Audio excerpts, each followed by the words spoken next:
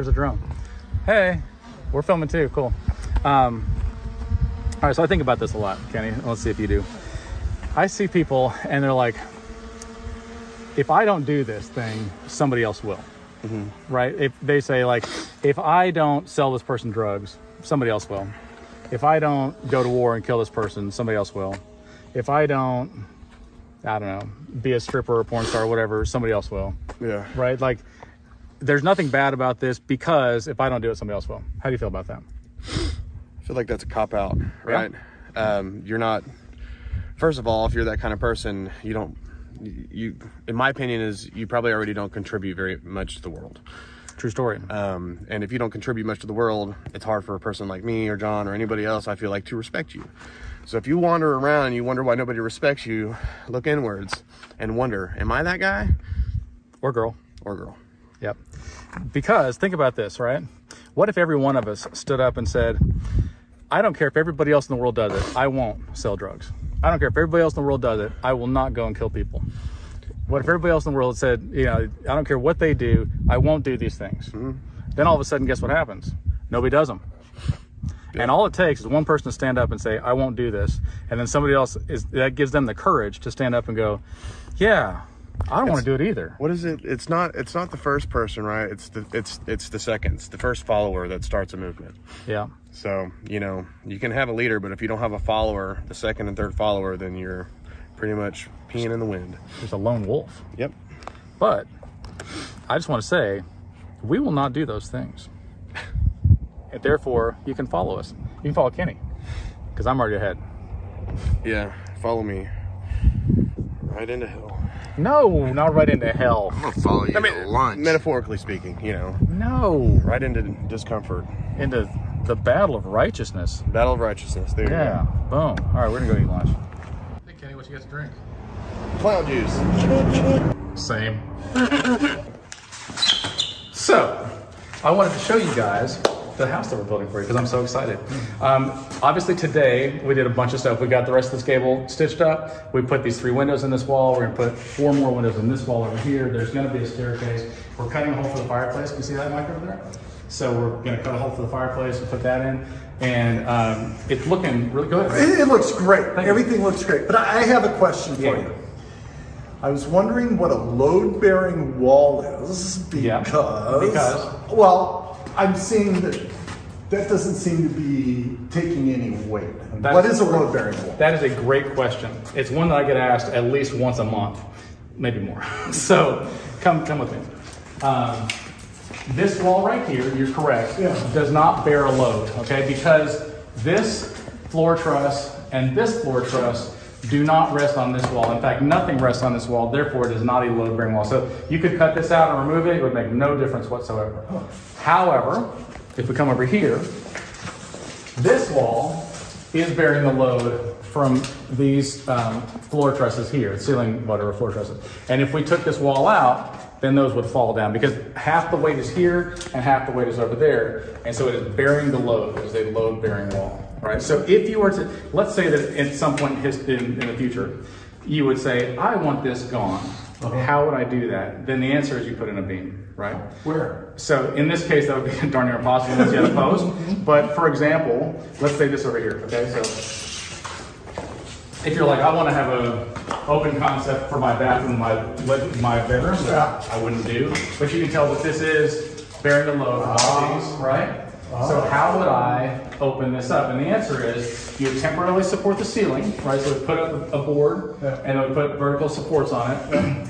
And then we cut out where the beam is going to be, and we have jack studs, and jack studs take weight all the way to the ground, but then also have the beam sitting on top of it. This is just a header, but you put a bigger, you know, two by twelve triple beam, and then come across that, and then land on another jack stud. And then once we did that, we could take cut all this stuff out. Well, you have to cut it out first, and then we'd relieve the load, and it wouldn't settle at all because it would already be secure in its place. And then we're taking the load from this part to the two sides. Uh, gotcha. And that's how you make an open concept. So that is, without having to look through sheetrock, how a load-bearing wall works and how an open concept and a beam works. It's not that complicated.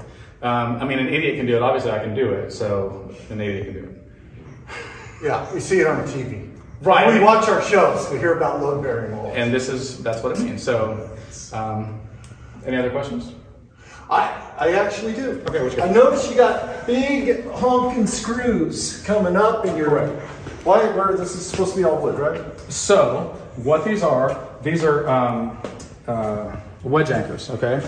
Here, we'll get close to it. So, what we do, you got a pressure treated bottom plate, which means that this is guaranteed for life against rot and decay, and bugs won't eat it. So, it's, it's got um, a chemical in it they pressurize, and then it soaks the whole board and it turns green like that, right? So, that's so that if there's moisture contact, which there will be, then it doesn't rot your board out and then your whole house settles. But we drill these about every three feet, and we drill a hole deep into the concrete, about that deep in, and then it's got a, a threaded um, bolt, but at the bottom of it, it's got a wedge, and when you hammer it in, it flares out and sticks into that concrete, and so that's not going anywhere. And then you tighten this up, and the more you tighten it, when you pull it up, then it flares out that bolt, and it just locks it in. So we put those all the way around, everywhere that we've got a it coming into concrete, we've got a wall. Then about every three feet, we put one of these bolts, and it makes a huge difference. So then when you try to rock the wall, the wall's like, nah, nah. I'm good. I don't think they did that in our old house. That's what I heard. That's what I heard. Well, it's beautiful. We're Yeah. real excited. Why not treat every piece of wood like that? because of the cost. Yeah. And also, full disclosure, pressure treated wood to burn it is not good for you. There's chemicals in it that if you breathe it, it's really not good for you. Mm-hmm. And it's got some kind of, I forget what it is, copper monoxide or copper something or other. And it's not maybe great for the environment, but it is great for your house. Yeah. And so you don't want to pressure treat all the wood. And it makes it much heavier too. So this wood, I don't know if you can kind of feel it, but it feels very light um, because that's pine that's been um, kiln dried. But then this yellow pine is usually what they do this with, and they pressure treat it, and then it gets like five times heavier. At which point, your house, that's a lot more weight to put on your concrete. And Well, I can't wait to do a drywall video. oh yeah, yeah. we're getting closer. Every day we're getting closer. So, um, anyway, love you guys, man. Love you. Yeah, he Love him. Oh yeah, yeah. I love him. We love everybody. Yeah. Hmm. So, uh, today I'm out here by myself with one other person who's filming, and her name's Christina. And um, we are doing piddly, what I call piddly little things. So, we have to put uh, boards up here, nailer boards. Let me show you. Right here, if you're hanging sheetrock, you would have something to nail to all the way along here, and all the way along here, and all the way along here. But here, if you put a piece of sheetrock up, you would not have anything nailed to, so we have to put a piece up there. We also built around the fireplace and did some errand type things, but it came to my attention that perhaps not everybody in the world knows um, a few what we consider to be common knowledge things. Okay, but if somebody doesn't know, then I assume that other people don't know as well, and so I want to explain. So a lot of times we say these things wrong, and it's our own fault. Okay, and by that I say people that know better because it's so common that we just let it go, right? So for example, in the AV business, people call a podium a podium, right? So what you stand at when you're going to speak is a podium. But technically, it's a lectern, and the stage you're standing on is a podium. Nobody ever says it. And so when a presenter says, hey, I need a podium up here, then all these people want to chime in and say, oh, but no, technically you're standing on a podium and the lectern's the thing that you.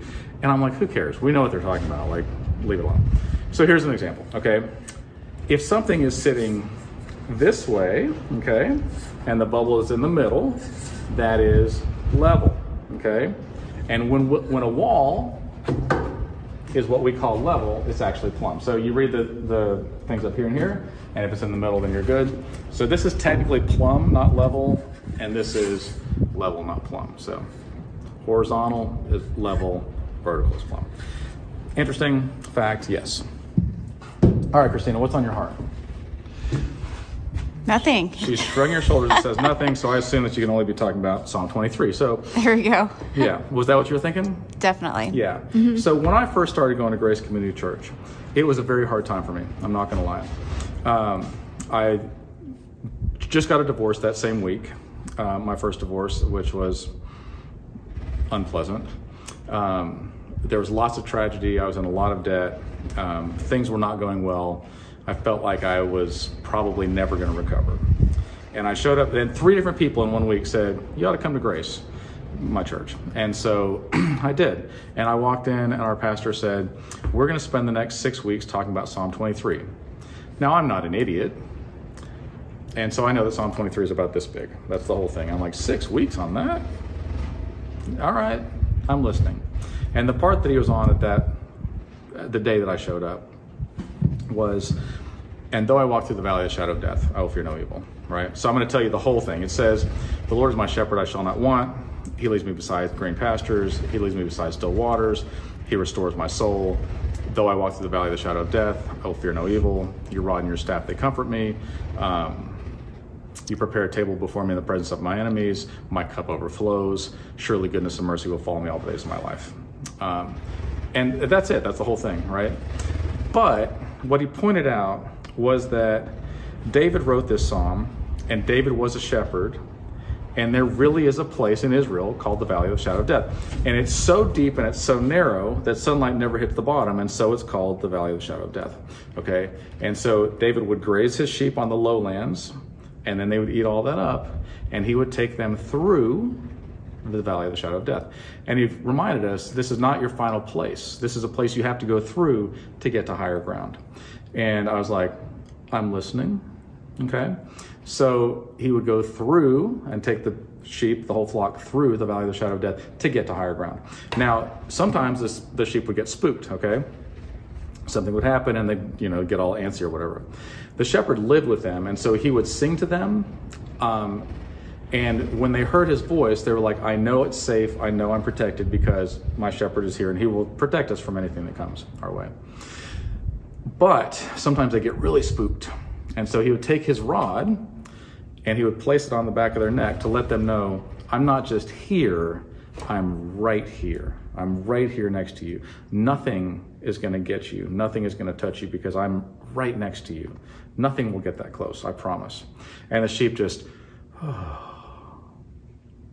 and sometimes I think that we need to realize that, right? Like God's telling us, hey, I'm here, I'm here, I'm here.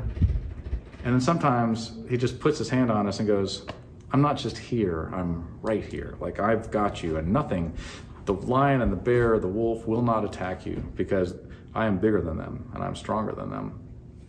Anyway, then it says, You prepare a table before me in the presence of my enemies. So, what David would do is he would get to the higher land through the valley of the shadow of death, finally get through that, and like, ah, sunlight and green grass, I want to go eat. He's like, Chill, stay right here for a minute.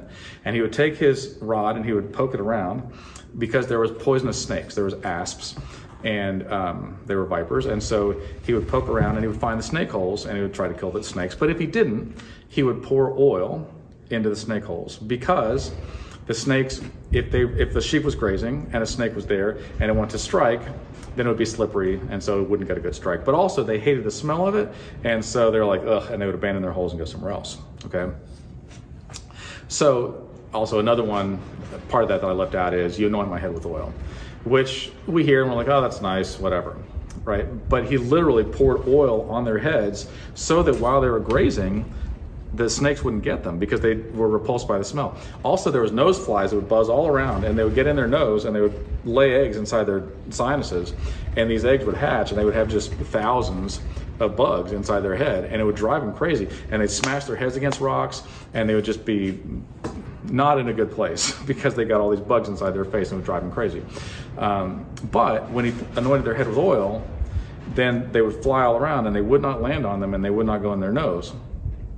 And so he literally, it says, You anoint my head with oil, you prepare a table before me in the presence of my enemies. He literally prepared a table before them in the presence of their enemies. There were snakes and there was uh, nose flies that did not touch them because he had protected them. He had gone ahead of them, cleaned the land out, and then whatever was left there, he's like, "I'll protect you from that too." And I think that's an important lesson for us um, that God is there and He's watching us and He's putting up safeguards for us. Now we can be dumb. Okay, we can be dumb and we can do stuff and we can still get hurt. But overall, he's like, I'm trying to protect you. Okay, so then it says, My cup runneth over. Okay, so sheep are very fickle, which I didn't know, and they don't like to put their head down into something. Which I don't blame them. I don't either. I, when I eat, I don't put my head in a bucket. Um, and so he would keep, they want it to be overflowing. So he would reach down in the well and pull the bucket of water up and he'd pour it and keep their trough overflowing so they could just just lick just the top of the water because they're fickle. Now, they had plenty of water underneath that, but he, even though it was more hassle for him, would bring up more and more water because it was more comfortable for them. And so he showed his love by saying, Look, your cup runs over. I want to take care of you. I love you. And God does the same thing for us. Like, if we're honest, we have far more than what we need. And um, then it says, Surely goodness and mercy will follow me all the days of my life. And I just think that that's a truly beautiful analogy once you understand that when he's talking about sheep, he's really talking about us. And that this is a very real place and it's a very real thing. It's, this is our life. So I hope you're having a wonderful Saturday and I hope you have a wonderful Christmas, even though I'm a Grinch. All right. Hey there. So I just want to apologize. I want to start by apologizing because I haven't really done any videos this week. Um, we've been doing some sketchy stuff up here, okay? We're all up on scaffolding. We got the other gable done, which is great. Um, we did most of this this morning, which is nice. We still have to wrap around a little bit there. Here in a couple days, we will be past the sketchy stuff and I will be more uh, inclined to make some videos, but it's been, it's been sketchy. Am I wrong, Mike? And every day is like the wind and the rain and the fog and the cold and it's just been, it's been a beating. Um, anyway, so I want to talk to you today about two guys that went to church, okay? And one of these guys, they stood fairly close to each other. And one of these guys looked up to heaven. He said, God, thank you for making me such a wonderful person. I tithe 10% of my money. I don't do anything on the Sabbath day. I follow all your laws. Pretty much an awesome person. So thank you, God. He pats himself on the back. This is the story Jesus is telling, by the way. Then there's another guy, he's a tax collector. Tax collectors were people that were Jews that lived in Israel, but the Roman Empire came in and said, hey, you can tax your brothers and sisters and then you can cheat them for more money if you want. And then they did. And so they were pretty much hated, a lot like tax collectors today, but even worse. So this tax collector doesn't even lift his head up. He beats his chest and he just says, God, please forgive me. I'm a sinner. And then Jesus looked at the crowd and he said, which one of these two men went away justified that day? The one that did everything right and was bragging on himself, or the one that knew his place? And the crowd is like, I don't know, the good guy? And he's like, no. The one that, because pride comes before a fall, but humility comes before honor. And this guy was full of pride, which is a sin. It's one of the seven, seven deadly sins, right? Like you puff yourself up and you think, I'm so good, I'm so good, I'm so good. You're not. Um, and then the other person is like, I realize my place in life. I'm so sorry. Please forgive me. And God's like, I'll forgive you. So think about that because sometimes we need to be brought back down to reality a little bit on what our place is. And really, every one of us needs mercy. And so we need to be merciful. And we also need to understand that we need humility because keeps us humble and, you know, keeps us from falling. All right, we're going to go get some lunch. Oh, hey there. So we got quite a bit of done, uh, stuff done today. Um, all this doesn't look like much, but this is high and complicated and we had to have scaffolding and ladders and ladders on scaffolding and all kinds of things. And to get that done uh, makes our hearts sing. So it is now Christmas Eve Eve where we are, and I don't know where it is, what time it is, or what day it is when you're watching this, but it's Christmas Eve Eve. And so I just want to mention that in the middle of all this chaos that is holidays and did i get all the presents that i wanted and did i give all the presents that i needed to and and and all the things that we worry about and did we decorate and did we give everybody cards or whatever i just feel like we need to pause for a minute and just focus on what Christmas is really about. And and that is Jesus was born into this world so that he would save us. And what a miracle it was. It changed everything. I mean, before him, it was BC and afterwards is AD. Like it, all time changed. Literally everything changed because of him. And he came into our world to, to come and be one of us and then to die for us. And that's a, a big, big deal. Um, and wise men still bring their gifts to Jesus. I mean, that's the truth is that wise men still seek after him and they go, This is everything that I have. And I still feel like it's not enough. Um, you know, the story of the little drummer boy, this song, The Little Drummer Boy. He's a poor boy too. And he has he says, I have no gift to bring, but I can play the drum. And so he does. And when he does, then Jesus smiles at him. And that's enough for him, right? And I just think whatever it is that we have, no matter how big or small, let's bring that to him. And oftentimes the way that we do that is through kindness to people, and especially to, to people that can't ever pay you back. Um, so I hope you guys have a wonderful holiday. I'm very excited about the progress here. We'll be back on Monday to do more progress. And um, love you guys so much. All right, bye. Merry Christmas. Merry Christmas. Oh, hey there. So it's Monday morning. We just had Christmas. I hope you guys had a wonderful Christmas. Um, we are building this fireplace chimney. Um, and we're learning all kinds of stuff. And hopefully you guys are learning stuff too. So come on over here. I want to show you some things. So fiberglass, um, if it has paper on it, will burn. But if it's unfaced, it will not burn. And so we can stuff fiberglass all around this thing. Now, not on top of it because heat rises, obviously. Um, but we can stuff it all around there. Jimmy, you got your lighter on you? I do. Here, let's, let's see that thing. We're just going to do a quick demonstration so you can learn. How's this thing work? I don't even, I don't do drugs. Um, no, you don't have to do drugs. It helps, but you don't have to. So look, that's on fire, right? Not at all. Yeah, but it won't actually catch fire. They, that's even with like a full-on flame on it. And then, look, not even hot. Cool to the touch. Yep, pretty rock and roll. So, now speaking of extinguishing fires, uh, I think about this a lot, right? When we were younger, people used to say to us, if you don't have anything nice to say, then don't say anything at all. And I think we forgot that. And I think that we've we've replaced that with I just I'm honest with people. I'm just brutally honest. If they can't take it, then that's their fault. But that's not nice, right? Like if you have the choice to be right or to be kind, choose kind. You, you don't have to tell everybody your opinion about every last thing all the time. You can simply let it go. And you know what else you can do? When you're really, really mad, because it takes a lot to get me mad, but sometimes I do get mad, I'm not gonna lie. And when I'm really, really, really, really, really mad, this is the point where I'm like, I could tell you off in the best way possible that I will 100% regret and never be able to take back. And you'll remember that for the rest of your life. And you'll think, that's how John thinks about me. And I don't want that. So whenever I'm like really, really, really, really mad, and it's probably not 100% your fault. It's probably a lot of factors that all came together and then I put it on you. And I'm like, I'm gonna need a minute. And then I go away and I cool off. Yeah, I go somewhere else and I cool off for the amount of time it takes me to get my head on right so I don't say something mean that I can't take back.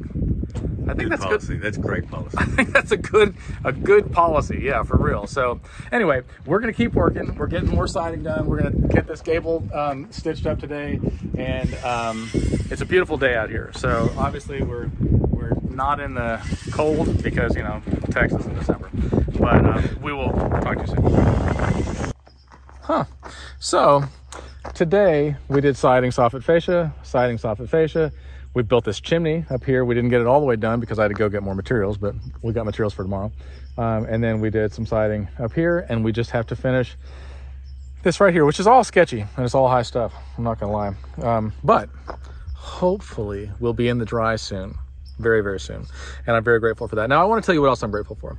Um, some of you guys know um, those that hang out with me a lot know that um, my dad is not in a good place right now okay?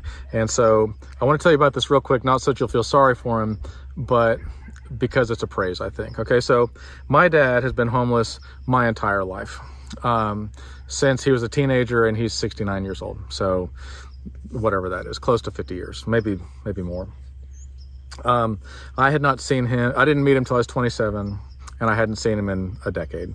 Um, and then all of a sudden, he kind of popped up, and he's been maybe on the edge of sanity sometimes. Um, but recently, he has been much more sane, like in the last several months. And so I'm very grateful for that. We've had real conversations, and I'm very grateful for that. Now, um, some of you know that I went down to Mexico a couple months back, and that's because we found out that he had a huge, huge skin cancer across his face that comes like across here and then all the way across the back. And it just looks, I can post pictures, but I'm not going to put it in the main thing because it's hard to look at. His eyes completely closed over, um, and he's got a thing about that big on his ankle that's just an open wound, and he's he's not in a good place physically, right? So um, I went to Mexico to visit with him because he finally had an address for the first time ever, and I helped get him down there. And so I went to visit him, and I was very grateful for that time. But because things happened, he ended up coming up here, and so um, my friend Colby, who I love, my neighbor Colby, who I love, said take him to JPS, and I'm like, that's kind of like the you know the not great hospital, and he's like, bro, that's where I, where I went when my back got broken, and they took good care of me. And so I went to JPS and I expected almost nothing. I expected to be sitting in the lobby for 10 hours and get horrible service and be, be treated badly and whatever. And I just want to tell you what I was greeted with. He, so my dad last week went completely blind and his other eye too. And so that's got to be unbelievably difficult for him. So I parked up front in the emergency and I walked him in and I said, Hey, he can't see. I'll be right back. I'm going to go park the car. And I went and parked the car thinking 10 hours from now, we might get to possibly see a doctor, maybe, but they'll probably tell us to come back tomorrow. I got back from the parking lot and came in, and they were like, Where have you been? He's got a room. He's been waiting for you. They knew my name. They knew his name. I was like, what planet is this right now? they had an eye doctor look at his eye. They did a sonogram on his eye, the one good one. Um, they had cancer doctors come in. They took biopsies. I mean, they would, they just took care of him unbelievably and were so very, very kind and understanding. And I just can't tell you how much that meant to me and to him. Um, for them to be so kind and so understanding and so helpful. Um, sadly, they did give him a diagnosis that what he has is terminal and that nothing that we can do is going to help him. Um, and that's a hard thing for anybody to hear. That's a hard thing for anybody to hear is like, you won't come back from this. You're going to die. We don't know how long, but you're going to die. But he just took that and went, okay, well, I'll make the best of what I've got left. He doesn't complain. He doesn't, he's got a pain chart on the wall, you know, that goes from zero to 10. Keep in mind, this guy's got to be in excruciating pain. I mean, seriously, like, it is hard to look at. And I looked up at his wall, and he's got his pain at a zero. At a zero. He straight up refuses any pain medication. And I'm just like, wow. And he has his flaws. We all have our flaws. But I got to say, I have such a tremendous amount of respect for him. He came all the way across the country without being able to see, with no money, being homeless. It's incredible. With, with everything that he owned on his back. I'm sorry. Um, and he got here and he is tough and he just makes it through and he has a good attitude and all he cares about is helping other people. And that makes me want to be a better person. So, um, I hope you guys are having a wonderful evening. I am so very, very grateful to all the medical staff up there and to everybody who's been so supportive and has tried to pray and and um, and talk to me. It means so very much. So um, have a good night. I'll see you guys tomorrow. Okay.